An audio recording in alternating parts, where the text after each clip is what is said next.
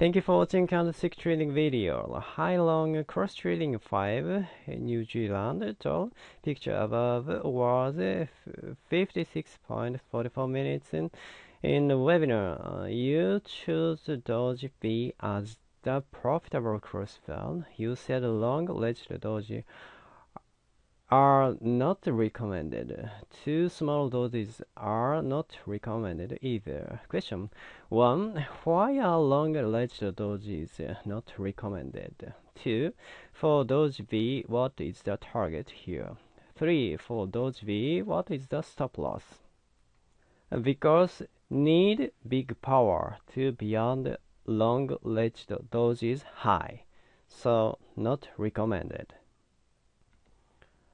The target is this bar high. Stop loss is this bar low. Thank you.